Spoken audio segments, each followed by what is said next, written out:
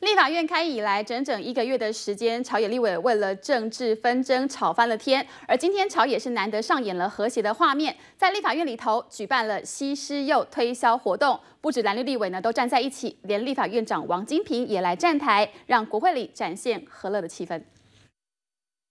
西施柚赞。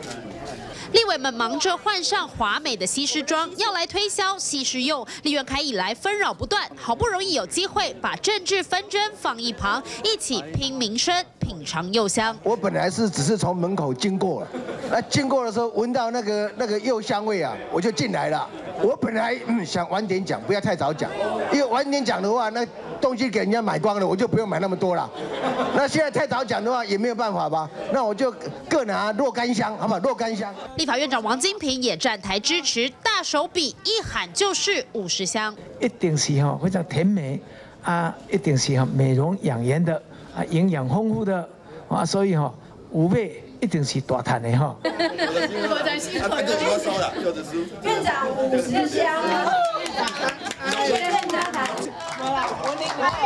啊，这样这样哇，有福气了。